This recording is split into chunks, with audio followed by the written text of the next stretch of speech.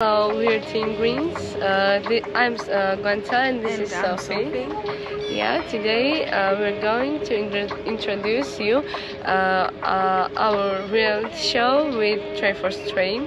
It is uh, about animals, the way animals see our world.